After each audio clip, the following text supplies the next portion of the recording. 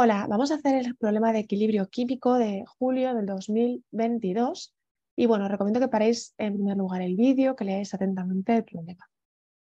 ¿Qué nos dicen? Nos dicen que tenemos un reactor de un litro de capacidad en el que inicialmente vamos a introducir 0,1 moles de pentacloruro de fósforo y se van a calentar a 250 gramos. A esta temperatura se va a disociar según este equilibrio que tengo aquí. Una vez alcanzado este equilibrio, me dicen que el porcentaje de disociación es del 48%. ¿Vale? Bueno, vamos a escribir estos datos. ¿no? Tenemos un volumen total de un litro. Sabemos que los moles iniciales de PCl5 son igual a 0,1 mol. Y sabemos que la temperatura son 250 grados centígrados, que si lo pasamos a Kelvin serán 250 más 273 Kelvin. Esto si hacemos el cálculo, sabemos que son 250 más 273, un total de 523. Vale.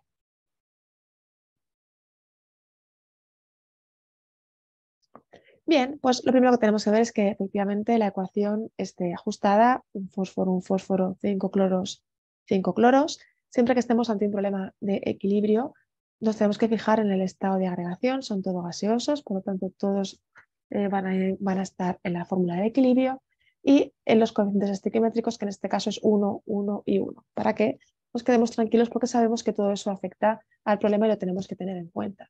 Otra cosa que suelo recomendar es calcular el incremento de moles gaseosos, porque si fuera cero eh, nos podría afectar a este problema, pero como es distinto de cero, es decir, los moles de los productos 1 más 1 menos los reactivos, 1 más 1 son 2 menos los reactivos que es 1 es 1, e da 1 es distinto de 0, es decir, 2 menos 1 es distinto de 0, pues bueno, sé que este tipo de cosas las tengo que tener en cuenta, las trabajamos mucho en clase porque cuando pasa eh, si habéis hecho problemas conmigo, sabréis eh, cómo se resuelve. ¿vale? Además de este dato, me están diciendo que alfa es en porcentaje 48%, por lo tanto, en tanto por 1, que es como se suele expresar, 48 dividido entre 100, que es 0,48. Me piden en el apartado A que digamos la presión total en el interior del reactor una vez se ha alcanzado el equilibrio. Bueno, pues vamos a escribir el equilibrio para tenerlo también aquí un poquito más grande y hacer nuestra tabla.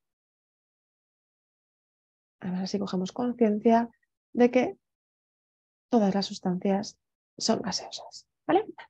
Bien, ¿tenemos los moles iniciales? Sí, sabemos que son 0,1 mol. Inicialmente no habrá nada en el reactor de los productos. Sabemos que la variación de moles va a ser, eh, cuando lo ponemos nuevamente en menos x, a decir, una parte se va a disociar y va a aparecer x y X. Y esto lo podemos relacionar con alfa porque sabemos que lo que va a desaparecer es el tanto por ciento que nos está indicando. ¿vale? Esto luego lo pondremos indicado con alfa para que veáis cómo se escribe y por tanto sabremos que los moles en el equilibrio van a ser los que tengo inicialmente menos los que se liberan. ¿vale? Me está diciendo que calculemos la presión total eh, eh, del reactor. Por lo tanto, Aquí en este problema lo he puesto así para que lo, vamos a resolver así, pero podríais trabajar de distintas maneras como os voy a decir.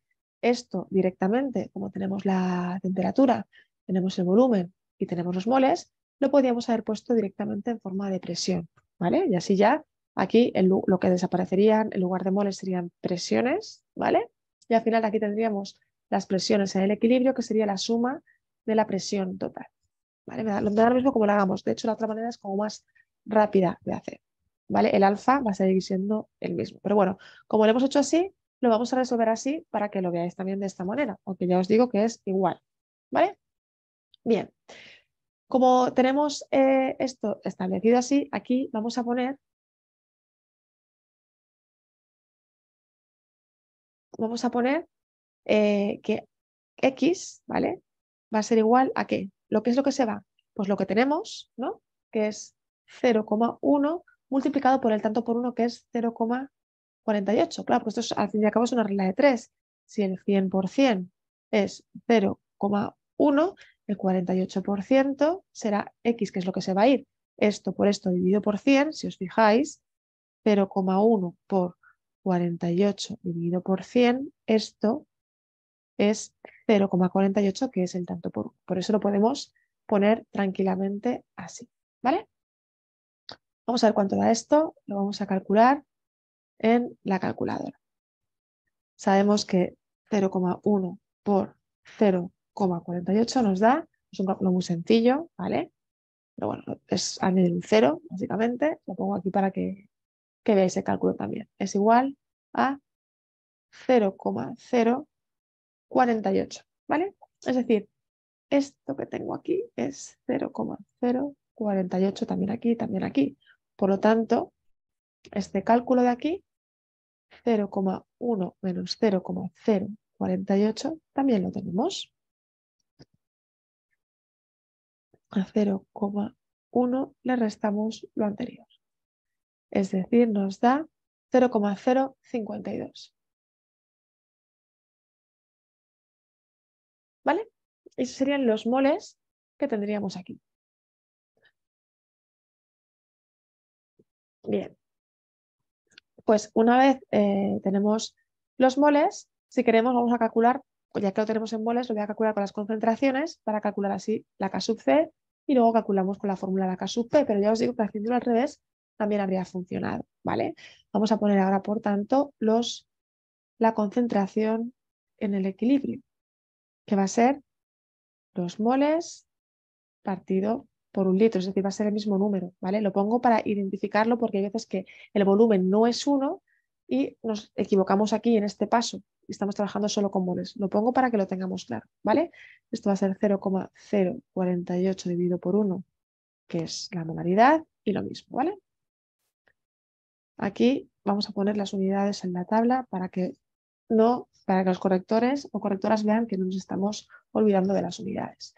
Y la K sub C, escribimos su fórmula y ponemos que es la concentración de los productos gaseosos o acuosos elevados a su coeficiente estequiométrico, que en este caso, en todos los casos, es 1. Por lo tanto, aquí sería 0,048 por 0,048, todo ello partido por 0,052. Sacamos la calculadora, 0,048 por 0,048 dividido por 0,052. Y esto nos da un total de 0,0443. Vale, vamos a ponerlo nos da un total de 0,0443. Sabemos que no tenemos obligación de escribir las unidades, pero si las escribiéramos sería molar al cuadrado, partido molar, este se va con este y lo quedaría molar. ¿Vale? Ya tenemos la K sub C. Bien, ahora la K sub P la vamos a poder calcular con la fórmula sabemos que la K sub P es igual a K sub C por R por T elevado al incremento de moles de los gases, que fijaros que ya lo hemos calculado antes, ¿vale? Por lo tanto, la K sub P va a ser igual a 0,0443 por R, que es 0,082, voy a dar el dato aquí, multiplicado por la temperatura, que son 523. Todo ello elevado a esto sabemos que es 2 menos 1, 1 a 1. Por lo tanto, sacamos la calculadora y es este dato multiplicado por 0,082 por 523, igual 1,9002. 0,2 o un 2 porque he redondeado este 1 de aquí. ¿Vale? Y esta sería, por tanto, la K sub P, que si quisiéramos poner las unidades, que sabemos que estamos exentas de ponerlo, serían en atmósferas. ¿Sí? Ya tendríamos la K sub P, los dos. Es decir, tendríamos el apartado B hecho. Sin querer me he saltado el A, que le vamos a hacer ahora. ¿vale? La presión total en el interior del reactor una vez alcanzado el equilibrio. Bueno, pues si hubiéramos hecho este ejercicio eh, de la manera más rápida, que es eh, calculando las presiones directamente, sería simplemente sumar las presiones en el equilibrio, ¿vale? Pero ya voy a aprovechar que esto lo hemos hecho de una manera distinta para que os deis cuenta que si yo aquí pongo el sumatorio de moles, que lo tengo aquí, ¿vale? Voy a hacer el sumatorio de moles desde aquí, pues nos va a valer también para calcular eh, la presión total en el equilibrio con la fórmula de P por V igual a NRT. Lo hagáis como lo hagáis, os tiene que dar el mismo resultado. Vamos a despejar un poquito aquí la pizarra. Voy a quitar también esta parte.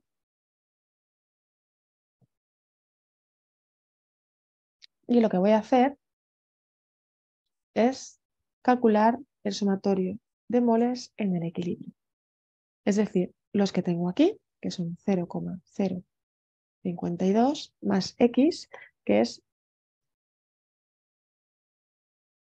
más 0,048 más sí mismo por 2, que es lo mismo, ¿vale? Por lo tanto, sacamos la calculadora y es 0,052 más 0,048 por 2, que nos da un total de 0,148 moles en el equilibrio. Por tanto, aplicando la fórmula, yo voy a saber que la presión total, P por V igual a los moles totales por R por T. Es decir, si tengo todos estos moles, me van a estar ejerciendo una presión total. ¿vale? Por lo tanto, como quiero calcular esta presión, pues tendré que dividir todo por el volumen que 1. Los moles totales van a ser estos. R la conocemos, es un dato además que nos dan aquí. Por la temperatura, que la tenemos aquí. 523, todo ello partido por el volumen que es 1. Y vamos a ver cuánto nos da. Nos da este dato por R por 523 dividido por 1, que es lo mismo, es decir, es 6,347. 6,347 atmósferas. Esta será la presión que nos piden en el apartado A. Bien.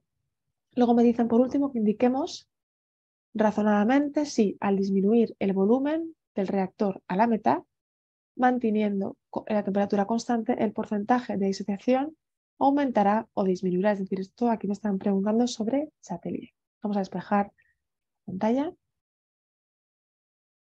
Y vamos a ver lo que pasa cuando eh, eh, disminuimos el volumen, ¿vale?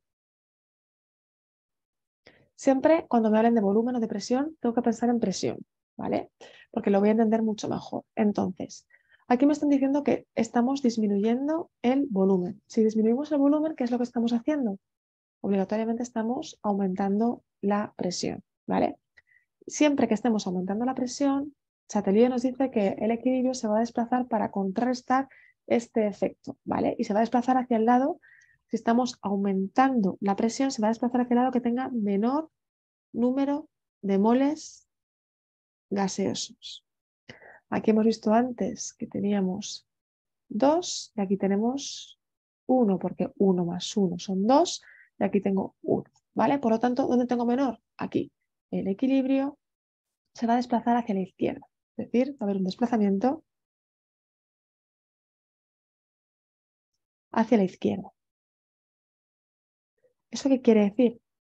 Pues que va a haber menos porcentaje que venga hacia la derecha. Eso quiere decir, por lo tanto, que alfa va a disminuir. El porcentaje va a ser menor a 48%. Bueno, espero que lo hayáis entendido. Tenéis más vídeos y eh, eh, problemas resueltos en nuestra web. Y nada, mucha, mucha suerte en esta pago. Un saludo.